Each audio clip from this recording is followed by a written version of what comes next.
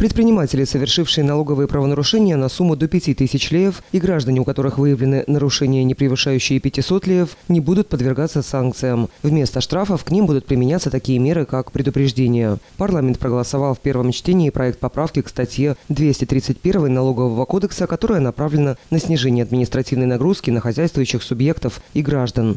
Согласно проекту, налоговое правонарушение будет считаться незначительным, если его сумма при несоблюдении декларативного метода или уменьшении налогов или сборов юридическими и физическими лицами, осуществляющими определенные виды деятельности, составит до 5000 леев. В настоящее время эта сумма составляет до 1000 леев. Для физлиц те же нарушения будут считаться незначительными, если порог будет до 500 леев, а не до 100, как в настоящее время.